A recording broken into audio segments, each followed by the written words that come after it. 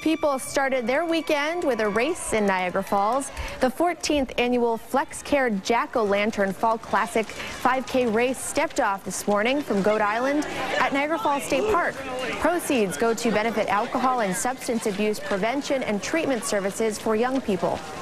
The race has been getting bigger every year, and we've been uh, generating more and more people, so uh, that helps a lot. With funding being cut from other sources, it is a, a, a generator of revenue for us.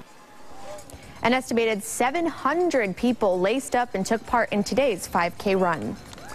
Some